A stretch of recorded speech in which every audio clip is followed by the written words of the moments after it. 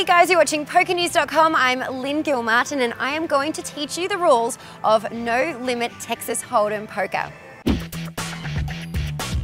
At the start of any Texas Hold'em poker game, the dealer shuffles a standard 52 card deck.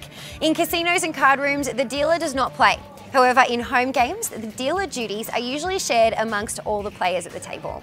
So in self-dealt home games, the deal duties change to the next player in every hand in a clockwise direction, and it's always the person to the immediate left of the dealer to act first. So, having the deal duties rotate allows for an even spread of positions at the table, so that no one seat has an advantage.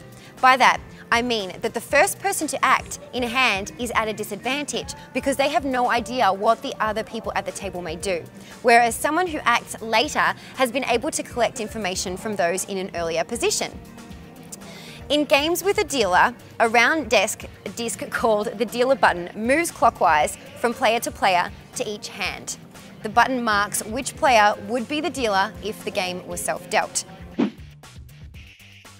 Every hand requires two forced bets called blinds. Games begin with the two players to the left of the dealer who are in early position as I explained, putting a predetermined amount of money into the pot before any cards are dealt, which ensures that there is something to pay, play for on every hand. Most often, the small blind, who is the player to the immediate left of the dealer, puts up half of the minimum bet, and then the player to their left, who is called the big blind, puts up the full minimum bet. In cash games, this amount is what determines the stakes. For example, when you see a $1 slash $2 no limit hold'em, that means that on every single hand of the game, the small blind puts out $1 and the big blind puts out $2. So this reinforces what I was referring to earlier with the rotating of positions, as it would be unfair for seats one and two to always post the blinds. So in the next hand, this dealer button will move along to this player, and then this player will be the small blind, and then this player will be the big blind. In tournaments, the same applies, but the only difference is that the amount is increased over time in order to ensure the elimination of players. This is why you may see a breakdown of levels for a tournament. That is what determines the minimum bet per level. Each player is dealt two cards face down. These are called the hole cards. Now you must protect these cards from being seen by any other player, so you need to check them very discreetly. The object of the game is to combine these two cards with the five cards which will eventually be laid out in front of the dealer, known as the board, to make the best poker hand at the table. So this hand may consist of two hole cards and three of the board, one hole card and four of the board, or very occasionally, neither of your hole cards and just the board. The first round of betting takes place immediately after the deal, with no cards yet on the board. The first player to act is the player to the left of the big blind, because these two players were initially forced to act.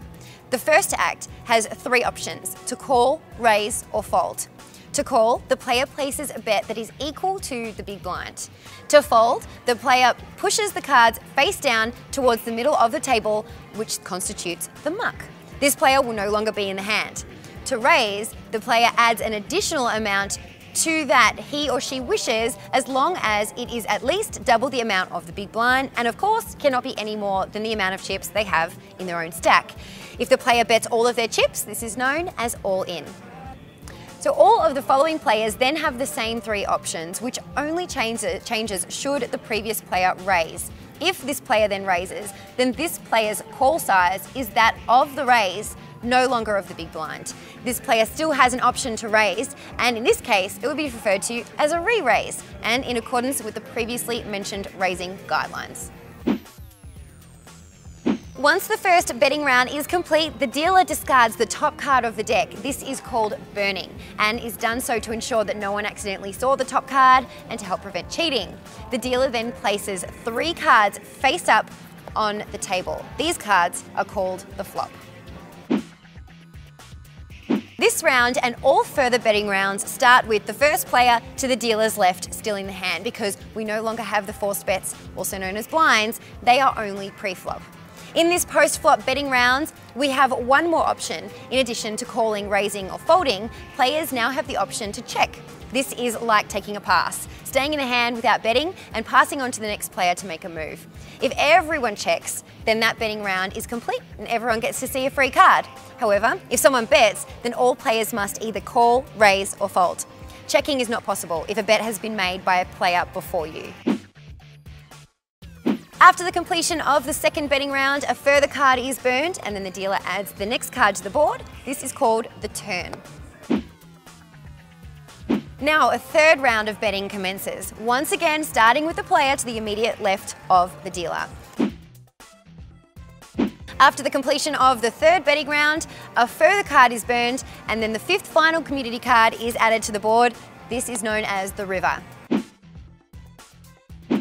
The fourth and final round of bets now takes place with the same rules as all the previous rounds, and this is where the real excitement happens. Showdown, when the challenged player must reveal their cards and a winner is determined by who has the best hand.